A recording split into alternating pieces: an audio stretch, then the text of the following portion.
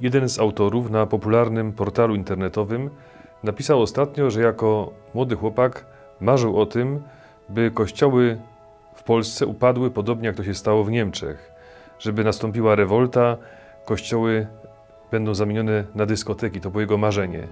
Niestety nie doczekał się tego i nie mógł się nadziwić, jak to jest, że ta podła instytucja ma jeszcze wciąż nowych wyznawców. A teraz przeżył wielką radość, ponieważ kiedy jego syn wrócił z technikum, gdzie zaczął uczęszczać, powiedział: Tato, te farmazony już nikogo nie obchodzą.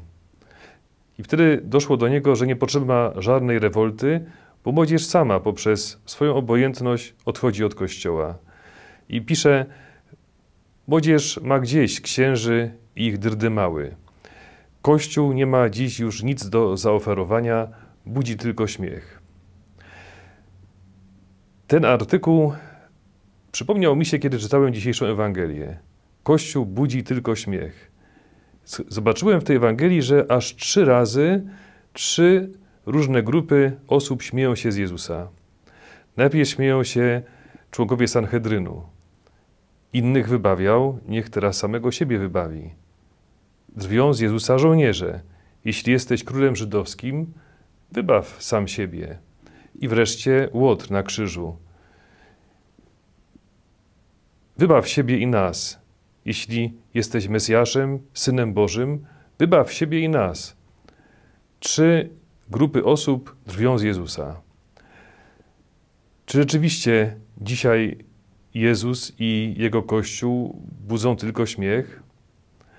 Moi kochani, w 1927 roku powstał film, może jeden z pierwszych, o ile nie pierwszy film, bardzo długi, obszerny, arcydzieło mm, pod tytułem Król Królów. Jeden z pierwszych filmów opartych na Ewangelii. Producentem i reżyserem filmu jest Cecil DeMille. Film zrobił furorę, jest zresztą bardzo piękny, jeszcze w takim starym stylu, czarno-biały, film niemy z napisami. Można go obejrzeć w internecie. Ten film obejrzało wtedy miliard widzów na całym świecie. Cecil DeMille wyznał później, że nagrody mm, krytyków filmowych, mm, wspaniałe recenzje i ten odbiór filmu nie był dla niego największą nagrodą. Największą radość sprawił mu list pewnej starszej pani. Kiedy ten list do niego doszedł, ta pani już nie żyła. Pani była w szpitalu i oglądała ten film kilka godzin przed śmiercią. Pielęgniarka zawiozła ją na wózku do sali, gdzie ustawiono projektor i pacjenci oglądali film. I ta pani napisała: Proszę pana, bardzo bałam się śmierci. Po obejrzeniu tego filmu przestałam się bać. A największą y, radość i nadzieję odzyskałam, kiedy zobaczyłam dobrego Łotra. Otrzymał nową nadzieję od umierającego króla królów. Ja też otrzymałam tę nadzieję.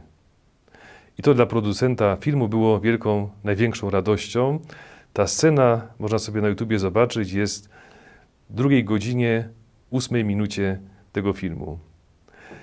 Moi kochani, władcy, królowie tego świata chcą nami rządzić.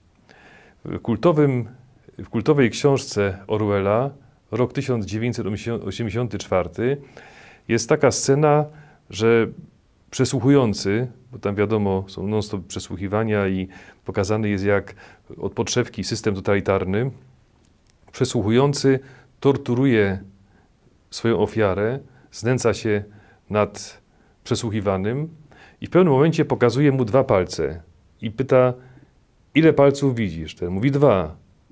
Rozpoczynają się tortury. To są cztery palce, nie dwa.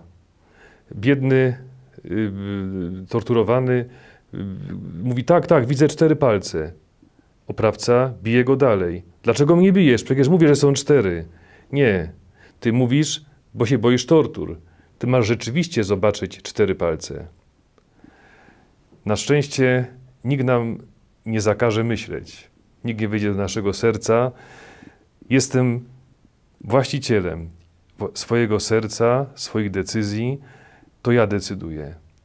Żaden król tego świata, nawet jeśli będzie stosował zewnętrzne tortury, nie może mnie zmusić do tego, bym oddał mu serce. A może warto dzisiaj oddać serce królowi królów? Zrób to dzisiaj. Tą uroczystość Jezusa Chrystusa, jedynego prawdziwego króla. Oddaj mu swoje serce. A zobaczysz, że tak jak ta starsza pani, otrzymasz nową nadzieję od umierającego i zmartwychwstałego Króla Królów. Pan z wami. Niech was błogosławi Bóg Wszechmogący, Ojciec i Syn i Duch Święty. Błogosławmy Panu. Wielu coachów i ludzi związanych z biznesem mówi dziś o kontemplacji.